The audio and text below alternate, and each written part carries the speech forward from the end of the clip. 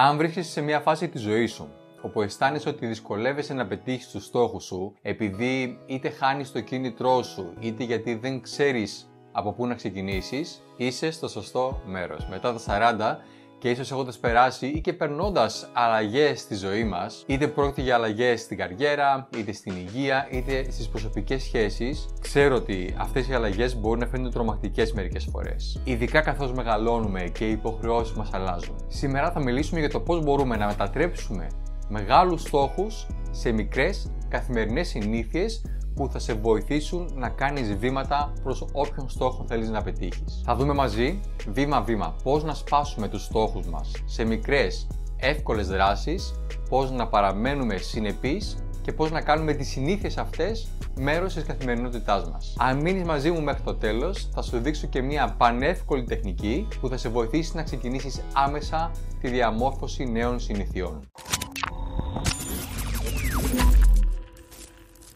Είμαι ο Θοδωρής Αραμπατζής, δημιουργός του GreekCoach.gr και συγγραφέας του βιβλίου Ακαταμάχητο Δικτυακό Marketing και αυτό που κάνω είναι να βοηθάω επαγγελματίες, coaches και άτομα που ασχολούνται με τις πωλήσεις και το δικτυακό marketing να πετύχουν στη ζωή και στην εργασία τους online και offline με απλό τρόπο. Για αρχή, ας μιλήσουμε για το τι ακριβώς είναι ένας στόχος. Ένας στόχος ουσιαστικά είναι μια μελλοντική κατάσταση που θέλουμε να επιτύχουμε. Μπορεί να είναι οτιδήποτε από το να βελτιώσουμε την υγεία μας μέχρι το να μάθουμε μία νέα δεξιότητα ή να πετύχουμε επαγγελματική επιτυχία. Είναι η κατεύθυνση που μας δείχνει πού θέλουμε να φτάσουμε. Όμως πόσες φορές έχουμε βάλει μεγάλους στόχους και μετά έχουμε αισθανθεί υπερβολικά πιεσμένοι ή αβέβαιοι για το πώς να ξεκινήσουμε; Αυτό είναι ακριβώς το σημείο όπου οι συνήθειες μπαίνουν στο παιχνίδι. Τι είναι λοιπόν μια συνήθεια; Μια συνήθεια είναι μια μικρή επαναλαμβανόμενη δράση που κάνουμε αυτόματα στην καθημερινότητά μας, στην καθημερινή μας ζωή. Είναι εκείνες οι μικρές πράξεις που δεν απαιτούν πολλή σκέψη, αλλά επηρεάζουν την κατεύθυνση προς την οποία κινούμαστε. Και εδώ είναι η μαγεία. Οι στόχοι και οι συνήθειες πηγαίνουν χέρι-χέρι. Οι μεγάλοι στόχοι για να επιτευχθούν χρειάζονται σταθερά καθημερινά βήματα. Και αυτές οι μικρές συνήθειες είναι τα βήματα που μας φέρουν πιο κοντά σε αυτό που θέλουμε να πετύχουμε. Σκέψου το σαν την κατασκευή ενός μεγάλου κτηρίου. Ο στόχος είναι το τελικό κτίριο, αλλά η συνήθεια είναι το κάθε τούβλο που βάζεις κάθε μέρα. Χωρίς τα τούβλα, το κτίριο δεν θα γίνει ποτέ πραγματικότητα. Έτσι, οι συνήθειες είναι οι μικρές πράξεις που σταδιακά δημιουργούν μεγάλα αποτελέσματα. Στο επόμενο κομμάτι θα δούμε πώς να σπάσουμε τους μεγάλους στόχους μας σε αυτές τις απλές καθημερινές συνήθειες. Έχουμε λοιπόν ένα μεγάλο στόχο. σω θέλεις να χάσεις 10 κιλά ή να γράψεις ένα βιβλίο ή να ξεκινήσεις τη δική σου επιχείρηση. Αυτοί οι στόχοι, αν και συναρπαστικοί, μπορεί να φαίνονται τρομακτικοί. Έτσι δεν είναι; Και πολλές φορές όταν βλέπουμε έναν στόχο τόσο μεγάλο, αισθανόμαστε αβέβαιοι για το από πού να ξεκινήσουμε. Και αυτό μπορεί να μας κρατήσει πίσω, να μας οδηγήσει σε αδράνεια. Γι' αυτό λοιπόν το λόγο η διάσπαση του στόχου σε μικρότερα βήματα είναι τόσο σημαντική. Όταν έχεις ένα τόσο μεγάλο στόχο, είναι εύκολο να παραλύσεις από το μέγεθός του. Όμως, αν το διασπάσεις σε μικρές απλές δράσεις που μπορείς να κάνεις κάθε μέρα, η διαδικασία γίνεται πολύ πιο διαχειρίσιμη και λιγότερο αγχωτική. Για παράδειγμα, ας πάρουμε το στόχο ότι θέλω να χάσω 10 κιλά. Αν σκέφτεσαι μόνο το τελικό αποτέλεσμα, μπορεί να νιώσεις ότι είναι ακατόρθωτο. Αν όμως πάσει αυτό το μεγάλο στόχο σε μικρές καθημερινές δράσεις, τότε αρχίζει να γίνεται πιο ρεαλιστικός. Μία τέτοια μικρή δράση θα μπορούσε να είναι το να περπατάς 10 λεπτά κάθε μέρα ή να προσθέσεις μία σαλάτα στα γεύματά σου αντί για κάτι ανθυγιεινό. Αυτά λοιπόν τα μικρά βήματα μπορεί να φαίνονται ασήμαντα στην αρχή, αλλά σταδιακά οδηγούν σε μεγάλες αλλαγές. Είναι το κάθε τούβλο που βάζεις. Και αυτό είναι το κλειδί. Οι μικρές δράσεις δημιουργούν συνέπεια. Κάθε μέρα που περπατάς για 10 λεπτά, προσθέτεις ένα ακόμα βήμα προς το στόχο σου. Με τον καιρό αυτά τα βήματα μαζεύονται και ξαφνικά βρίσκεσαι πολύ πιο κοντά στο να πετύχεις το μεγάλο σου στόχο. Αν προσπαθήσεις να αλλάξεις τα πάντα μόνο μιας, με τη μία, το πιο πιθανό είναι ότι θα κουραστείς ή θα απογοητευτείς. Αν όμως εστιάσεις σε μικρές απλές συνήθειες, θα δεις ότι προοδεύεις χωρίς καν να το καταλαβαίνεις. Ένα σημαντικό σημείο εδώ είναι το εξής. Κάνοντας αυτές τις μικρές καθημερινές συνήθειες, δεν θα δεις άμεσο αποτέλεσμα. Αν δηλαδή βγεις για περπάτημα για 10 λεπτά, σήμερα ή και κάθε μέρα για μία εβδομάδα, δεν θα δεις μεγάλη διαφορά ή και καμία διαφορά στο βάρος σου μέχρι το τέλος της εβδομάδας. Αλλά αν μείνεις πιστός σε αυτές τις καθημερινές δράσεις, θα έρθει το αποτέλεσμα. Αυτό στο οποίο θέλω να εστιάζεις λοιπόν είναι αυτές οι μικρές καθημερινές συνήθειες και όχι στο τελικό αποτέλεσμα. Στη συνέχεια θα μιλήσουμε για το πώς να επιλέγεις τις σωστές συνήθειες για να φτάσεις στο στόχο σου και πώς να τις κάνεις ρεαλιστικές και εφαρμόσιμες στην καθημερινότητά σου. Παρεμπιπτόντως, αν σου αρέσει το βίντεο μέχρι τώρα, κάνε like, σπάσε το like όπως λένε τα παιδιά μου, κάνε εγγραφή στο κανάλι μου, 75% όσων παρακολουθούν αυτά τα βίντεο δεν είναι subscribers, οπότε κάνε εγγραφή και θα λαμβάνεις ειδοποιήσεις κάθε φορά που ανεβάζω ένα βίντεο κάθε εβδομάδα. Τώρα που έχουμε σπάσει το στόχο μας σε μικρά βήματα, το επόμενο σημαντικό βήμα είναι να καθορίσουμε συνήθειες που είναι ξεκάθαρες και ρεαλιστικές. Γιατί είναι τόσο σημαντικό αυτό;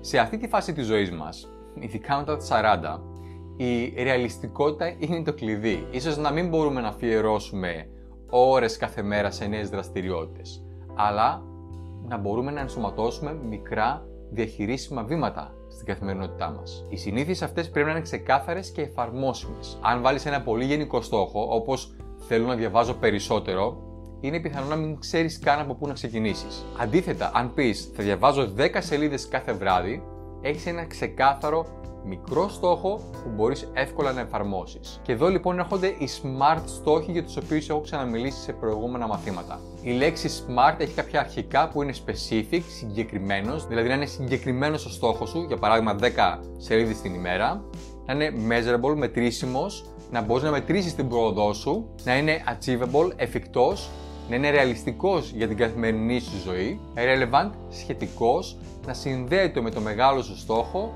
και να είναι time bound, δηλαδή να είναι χρονικά περιορισμένος, να έχει ένα σαφές χρονικό πλαίσιο.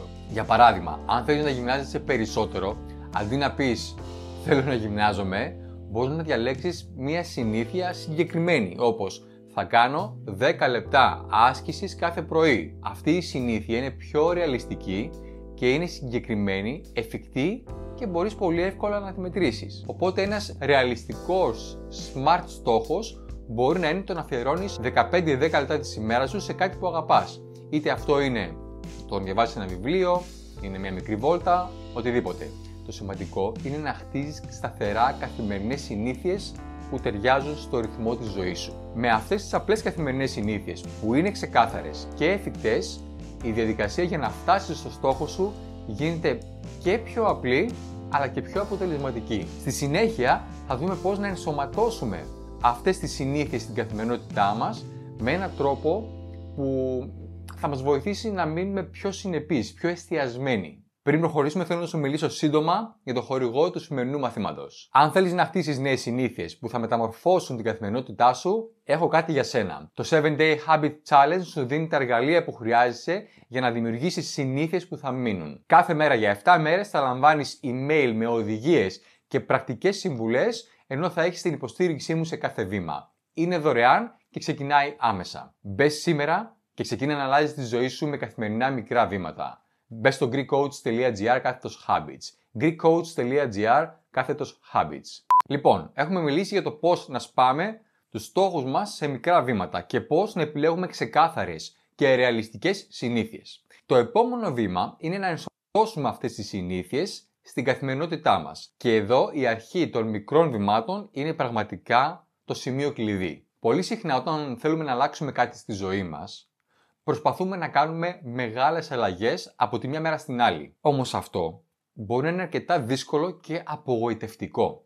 Αντίθετα, αν ξεκινήσεις με μικρές αλλαγές, αυτές θα γίνουν πιο εύκολα μέρος της ρουτίνας σου. Μία πολύ καλή τεχνική για να ξεκινήσεις είναι η τεχνική των 2 λεπτών. Η ιδέα είναι πολύ απλή. Ξεκινάς με μία συνήθεια που μπορείς να την κάνεις μόνο για 2 λεπτά την ημέρα. Θέλεις να διαβάζεις περισσότερο; Ξεκίνα με 2 λεπτά διάβασμα κάθε μέρα.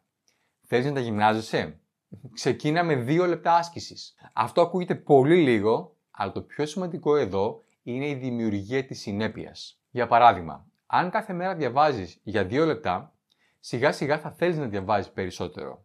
Μπορεί την επόμενη εβδομάδα να το αυξήσεις στα 5 λεπτά. Και πριν το καταλάβεις, θα φτάσεις να διαβάζεις 20 λεπτά κάθε βράδυ χωρίς καν να το σκέφτεσαι. Το ίδιο ακριβώς μπορείς να κάνεις με κάθε νέα συνήθεια. Η σταδιακή ενσωμάτωση μικρών βημάτων σε βοηθά να αποφύγεις την εξάντληση και να χτίσεις μακροχρόνιες αλλαγές με ευκολία. Το μυστικό είναι να ξεκινήσεις με μικρά βήματα αλλά να είσαι σταθερός. Στο επόμενο κομμάτι θα δούμε πώς να παραμείνεις συνεπής και πώς να παρακολουθείς την πρόοδό σου για να διατηρείς αυτή τη νέα ρουτίνα. Πόσες φορές έχω ξεκινήσει μία νέα συνήθεια και μετά από μερικές μέρες ξεχνούσα να την κάνω. Και ξέρω ότι και σε πολλούς πελάτες μου συμβαίνει αυτό και όταν αρχίζεις να χτίζεις νέες συνήθειες το πιο σημαντικό είναι να θυμάσαι να τις κάνεις κάθε μέρα. Και εδώ έρχονται οι υπενθυμίσεις και τα triggers πράγματα που μας βοηθούν να θυμόμαστε να κάνουμε, να τηρούμε τη νέα συνήθεια. Μπορείς να χρησιμοποιήσεις εφαρμογές στο κινητό σου που στέλνουν ειδοποιήσεις όπως εφαρμογές παρακολούθησης συνηθιών, habit trackers. Επίσης, μία απλή υπενθύμηση στο ημερολόγιό σου μπορεί να σε βοηθήσει. Ένας ακόμη τρόπος είναι να συνδέσεις τη νέα συνήθεια με μία ήδη υπάρχουσα. Για παράδειγμα, αν θέλεις να διαβάζεις περισσότερο, μπορείς να συνδυάσεις το διάβασμα με τον πρωινό σου καφέ. Κάθε φορά που φτιάχνεις καφέ, διαβάζεις για 5 λεπτά. Ένα άλλο βασικό εργαλείο είναι η παρακολούθηση της πρόοδου σου. Όταν βλέπεις τις μικρές νίκες κάθε μέρα, παραμένεις παρακινημένος. Υπάρχουν πολλές τέτοιες εφαρμογές, αλλά και ένα απλό χαρτί με τετραγωνάκια που τσεκάρεις κάθε μέρα είναι αρκετό. Για παράδειγμα, ας υποθέσουμε ότι θέλεις να διαβάζεις 10 σελίδες κάθε βράδυ, αυτό που είπαμε και πριν. Μπορεί να φτιάξεις ένα πίνακα, στον οποίο θα σημειώνεις κάθε μέρα που πετυχαίνεις το στόχο σου. Με αυτόν τον τρόπο θα δεις πόσο έχεις προχωρήσει και θα έχεις και ένα οπτικό κίνητρο για να συνεχίσεις. Θα έχεις μια σειρά την οποία τη βλέπεις μπροστά σου, μια οπτική απεικόνηση της πρόοδου σου. Το να θυμάσαι να κάνεις τη συνήθειά σου και να παρακολουθείς την πρόοδό σου είναι δύο κρίσιμα στοιχεία του να χτίσεις μακροχρόνιες αλλαγές. Στη συνέχεια θα δούμε πώς να αντιμετωπίσεις τα εμπόδια και πώς να παραμείνεις συνεπής ακόμα και όταν τα πράγματα γίνονται δύσκολα. Όπως είπα και πριν, η συνέπεια είναι το κλειδί για να μετατρέψεις μια νέα συνήθεια σε μόνιμη συνήθεια. Μπορεί να ακούγεται απλό, αλλά η επιμονή είναι αυτή που πραγματικά θα σε φέρει πιο κοντά στο στόχο σου. Ακόμα και μικρά βήματα, αν τα κάνεις σταθερά, οδηγούν σε τεράστιες αλλαγές με τον καιρό. Το να παραμένεις συνεπής ακόμα και τις ημέρες που δεν έχεις κίνητρο είναι αυτό που θα κάνει τη διαφορά. Όμως, όλοι έχουμε στιγμές που ξεχνάμε ή που αποτυγχάνουμε να τηρήσουμε μια νέα συνήθεια. Και αυτό είναι απόλυτα φυσιολογικό. Η διαχείριση της αποτυχίας είναι μέρος της διαδικασίας. Το πιο σημαντικό δεν είναι να είσαι τέλειος, αλλά να μάθεις πώς να ανακάμπτεις μετά από ένα λάθος. Αν για παράδειγμα ξεχάσεις μια μέρα να κάνεις τη συνήθειά σου, μην απογοητευτείς και μην εγκαταλείψεις. Δεν είσαι αποτυχία. Okay. Η καλύτερη προσέγγιση είναι να μην αφήσεις το λάθος να επαναληφθεί, να συνεχιστεί. Σκέψου σαν μια ευκαιρία να επανέλθεις την επόμενη μέρα με περισσότερη δύναμη. Ακολούθησε τον εγώμενο κανόνα των δύο ημερών, για τον οποίο είχα μιλήσει και παλιότερα.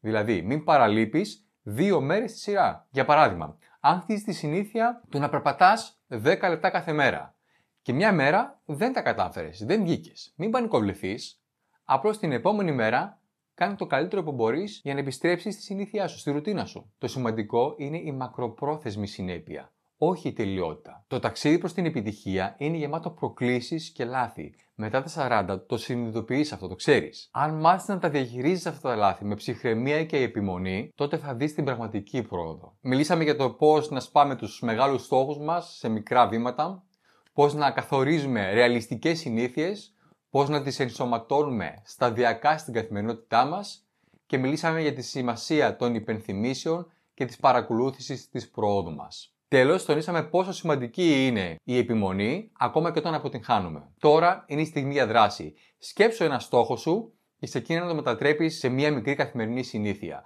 Μπορεί να είναι κάτι απλό όπως 5 λεπτά διάβασμα την ημέρα ή 10 λεπτά περπάτημα. Μην περιμένεις την κατάλληλη στιγμή.